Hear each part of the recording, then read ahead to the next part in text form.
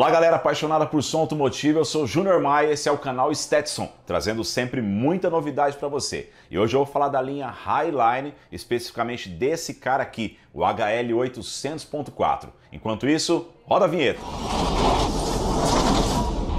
Stetson, potência sem limites. De volta aqui com o HL 800.4, esse cara aqui que vai amplificar e dar qualidade para o seu sistema de som. Vou mostrar para vocês os recursos que esse equipamento possui. Quatro entradas e quatro saídas independentes de 225 watts RMS. Ele possui dois controles de level independentes para os canais front e rear.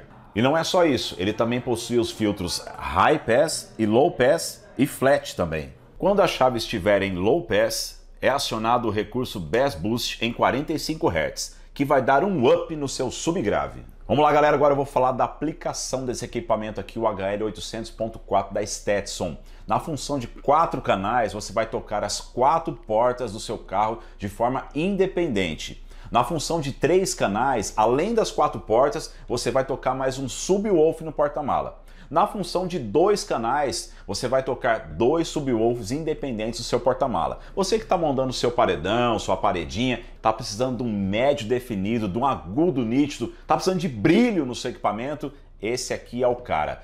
HL 800.4 da Stetson. Não é à toa que esse é o campeão de vendas, é a coqueluche da Stetson.